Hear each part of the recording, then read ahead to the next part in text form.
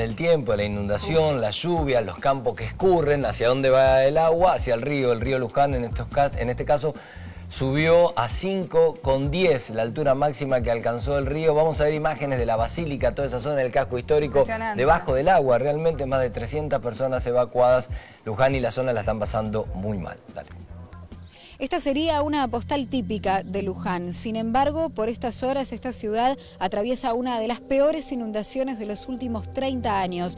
Ahora no se ve agua en este lugar, pero hasta hace poquito llegaba hasta la puerta de la histórica basílica. A donde sí se ve agua todavía es a solo unos pocos metros de donde estamos nosotros ahora parados. Ustedes pueden observar hacia el otro lado, hacia donde mira la basílica de Luján todavía es impresionante la cantidad de agua que hay en este lugar. El curso del río creció en niveles históricos. Ahora ha subido unos 5 metros 10, cuando su nivel habitual es de 2 metros y medio. Quedan más de 300 evacuados aquí en esta ciudad y todavía el agua que no se decide a bajar.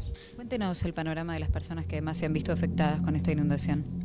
Eh, particularmente son las eh, del barrio San Jorge, Santa Marta, San Fermín, acá en lo que sería la continuidad hacia el lado de, Pilar.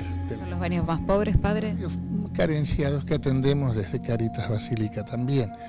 Entonces hemos hecho un trabajo de, de coordinación con la municipalidad para poder bueno, llegar con lo que la gente necesita ahora, que a veces es abrigo, que es eh, alimentos no perecederos, que es agua, a pesar de que tenemos mucha agua. Los evacuados están en centros que ha previsto la municipalidad para, su contención, su cuidado, su abrigo. Eh, son más o menos 300 evacuados y otra cantidad parecida de autoevacuados. ¿sí? Estaríamos hablando de unos 600 personas. Sí, estamos en el Polideportivo Municipal, estamos alojando a un número de 60 personas aproximadamente. Eh, se incrementó mucho ayer a la mañana a hoy, ayer contábamos con 12 personas, así que este, de ayer a hoy fue un incremento sumamente importante de gente. Hay diferentes situaciones, hay familias que cuando estaba por ingresar el agua a la vivienda decidieron ya evacuarse, hay otros que vinieron ya en la situación límite donde tenían una parte importante de la casa ya con agua. Perdimos ladera, cocina, perdimos toda la ropa del nene, perdimos colchón, cama, todo. Los papeles, todo, partida de nacimiento, todo, todo. ¿Cómo subió el agua? ¿Tan rápido que no pudieron sacar nada? Ir y cerrar de ojo. Cuando quisimos acordar ya teníamos el agua adentro y nos cruzamos para el frente porque hay un altillo y cuando quisimos salir ya no podíamos salir casi. ¿Qué hiciste con el nene en ese momento? Eh, mi marido es alto y lo pudo sacar él, pero casi se cayó, lo mojamos un poquito. Era una cosa que y te da bronca, porque todo cuesta.